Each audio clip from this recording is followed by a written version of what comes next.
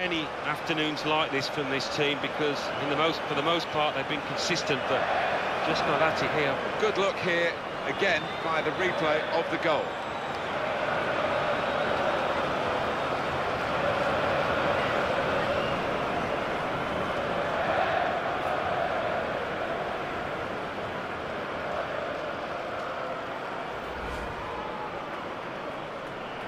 And the scoreline is for an equaliser here from a corner kick. And in comes the header, and they've scored! Well, just a few moments ago, we weren't thinking about a promotion party. It could still happen now, now that they're level. But remember, they've got to get a win to celebrate promoting today.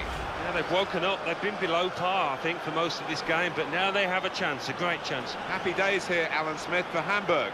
I know they work hard on these set pieces, and that corner was perfect. Well, uh, on to the attack now. He's got space. Tried to steer it in with the volley. Super goal here, and a super time to get it because they're in front now.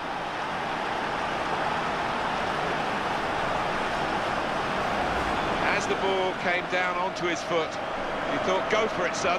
he went for it, didn't he? It's a great lesson for all kids out there watching the way his head remained firmly fixed on that ball.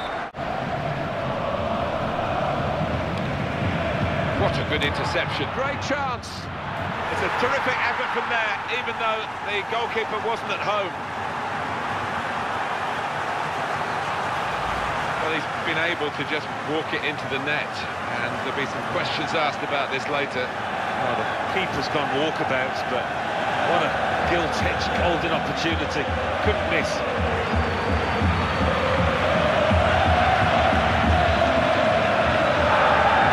Have another look at it, Alan. That will show us something.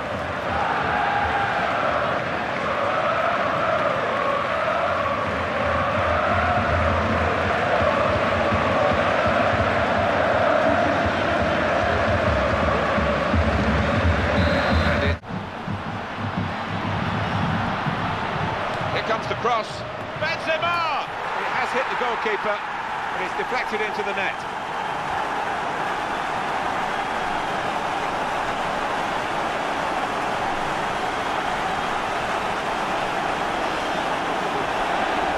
It's a move to make your mouth water. Great goal. Well, he's got a track record of that. On his left side, he's so dangerous. The timing was great.